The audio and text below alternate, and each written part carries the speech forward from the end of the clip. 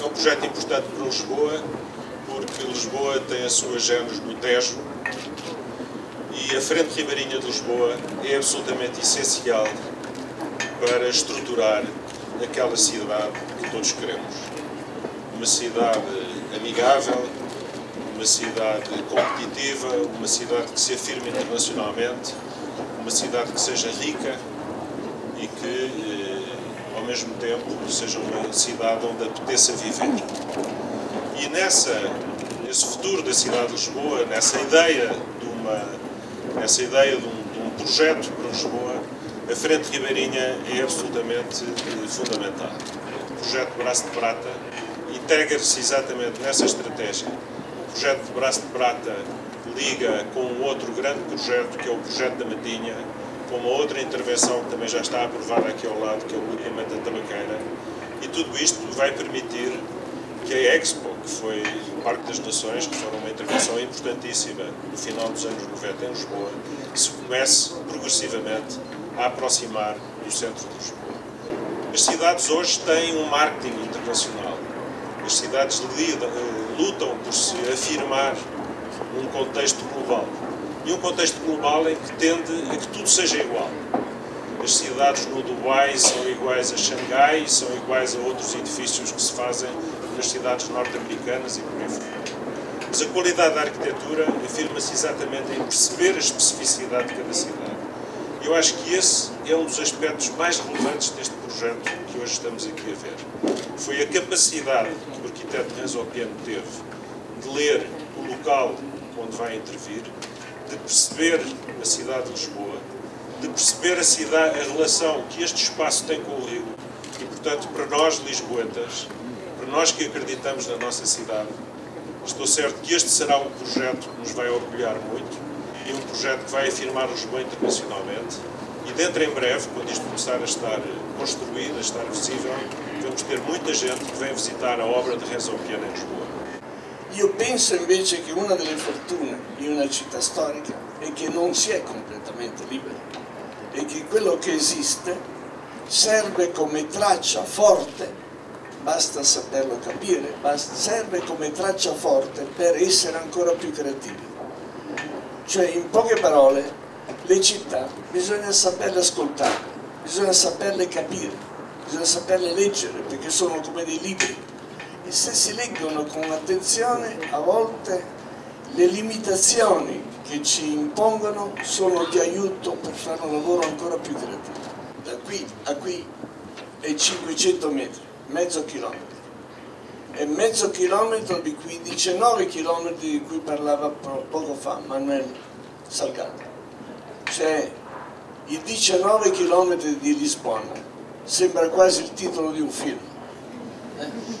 Bel titolo di non lo è, ma è una bella idea, una bella idea, perché Lisbona vive grazie al rapporto con l'acqua, questi 19 chilometri, il rapporto con l'acqua e di dove Lisbona è nata, è la forza. E questo progetto in fondo interviene su mezzo chilometro, ma è una cosa importante perché è già uno dei tasselli di questo mosaico che si costruisce sui 19 chilometri. Vedete, le città sono cresciute per 50 anni dopo la terribile guerra che abbiamo visto, 60 anni. A 60 anni sono cresciute per espansione espandendosi, creando immense periferie, sempre più periferie, sempre più lontane. E hanno un po' dimenticato che hanno degli spazi dentro. E allora ci sono alcune città che l'hanno capito. Le posso citare perché ci ho lavorato, sono, siamo degli architetti fortunati, abbiamo avuto molte esperienze in tante città. Ci sono città che l'hanno capito e che hanno scelto di fare una crescita implosiva, cioè l'implosione, non l'esplosione, l'opposto, crescere dall'interno, crescere per trasformazione, crescere per trasformazione dei buchi che sono rimasti nelle città, questo è un buco, questo qui di Brasso del Prato è un buco, un buco nero che è rimasto e che va, deve diventare città. Questo modello di crescita è un modello intelligente, perché è un modello che è sostenibile, la crescita esplosiva, creando nuove periferie, è un disastro, è una cosa che diventerà, è già diventata insostenibile sul piano umano, sul piano economico, sul piano politico, non è possibile. Occorre assolutamente cambiare il tono. Ebbene, questo sta succedendo. E perché succeda? Ci sono delle cose difficili da fare. E questa, e questa città le sta facendo, sta facendo un progetto che è unitario, che tiene assieme i famosi 19 km, sta facendo un piano del traffico, queste benedette automobili. Ormai è chiaro, non possono essere il padrone indisturbate delle città, non si può continuare a fare migliaia, milioni di parcheggi, più parcheggi si fanno, più auto arrivano e sarà sempre peggio. E quindi bisogna cambiare qualcosa, bisogna lavorare su questa visione diversa della città, la città in maniera più umanistica, più, più attenta. E credo che questo stia succedendo. Avviene sul piano dell'energia, sul piano delle risorse, sul piano del traffico e sul piano proprio del carattere. Insomma, la città che si completa è una città che non ha più buchi e che diventa più densa, più, più, più complessa, più ricca. Questo è quello che mi rende particolarmente felice di essere qui tra di voi oggi e cominciare questo cantiere in questo clima. O grande desafio da cidade de Lisboa, como todos sabemos, é responder à perda de população que teve ao longo das últimas quatro décadas. Em 40 anos, perdemos 400 mil habitantes. Em cada década, a cidade perdeu 100 mil habitantes. Enquanto este projeto esteve parado, houve 100 mil habitantes que deixaram de viver em Lisboa. E se nós queremos recuperar essa população, se queremos que a cidade de facto volte a ganhar população, vida, densidade, para ser economicamente sustentável, nós temos de ser capazes de gerir a nossa cidade de uma forma diferente daquela que tem sido gerida ao longo dos últimos anos. Sem isso, a cidade não terá sustentabilidade possível. E se há lição que devemos ter do que aconteceu nos últimos anos em Lisboa, é que uma cidade não se faz no improviso. Uma cidade faz com uma ideia, faz com reflexão, com planeamento e depois determinação na execução do planeamento. O tempo do improviso custou caríssimo. E custou caríssimo, em primeiro lugar, àqueles que queriam investir na cidade de Lisboa. Hoje, felizmente, temos um plano de intervenção geral para toda a Frente Ribeirinha, que diz bem o que é que se pode fazer em cada um desses sítios. Temos esse, esse plano geral de intervenção vertido num conjunto de instrumentos, plano de ordenamento do território, planos por menor ou planos de urbanização. E temos isso vertido no projeto de plano diretor municipal, que já foi votado em Câmara, que já está na CCDR e que espero que até ao fim do primeiro semestre do próximo ano veja, tenha a luz, veja a luz do dia, depois de ser aprovado na Assembleia Municipal. O que é que nós vamos ter agora? Bom, vamos ter aqui construção, onde há pessoas que vão viver, onde há 1.500 pessoas que vão trabalhar, porque 1.500 postos de trabalho vão existir aqui só nesta urbanização. Não vamos ter aquele muro, não vamos ter a via de cintura do Porto de Lisboa, não vamos ter o muro do Porto de Lisboa, não vamos ter a via da Refer, nem vamos ter o cais. O que é que vamos ter? Deste muro até à frente de Rio, vamos ter 12 hectares de parque. 12 hectares de parque.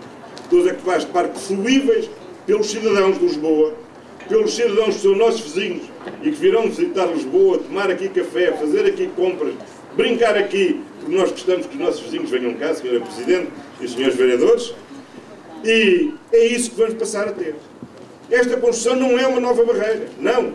É, pelo contrário, a porta pela qual a cidade se torna mais próxima do rio e o rio se torna mais próximo e fruível por todos os cidadãos. E é evidente que estas intervenções têm que ser acompanhadas de um esforço que conste do Plano Diretor Municipal de criar também habitação a custos acessíveis para que haja mais oportunidades de viver na cidade de Lisboa. Habitação a custos acessíveis não é habitação social. Habitação a custos acessíveis é a habitação que a classe média possa adquirir, possa residir, possa arrendar e possa haver, sobretudo, cada vez mais casais jovens a viver na cidade de Lisboa. E esse objetivo é o objetivo que fixamos da produção de casas para arrendar a um preço que definimos de 500 euros mês.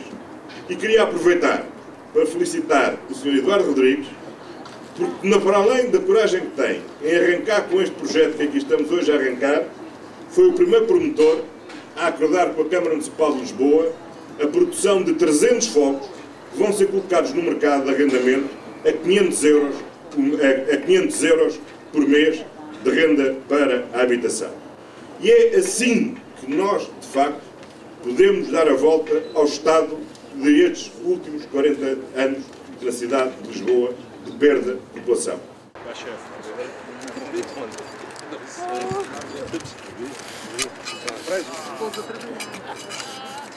Taki ten graj. Sonio, na czym, na czym? Ja no, zobaczył? Na wene? Zapaj. Będę ten nas. Tak, ty mam. Thank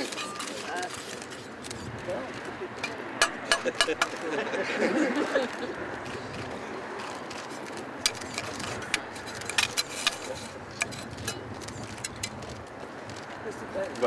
Vai.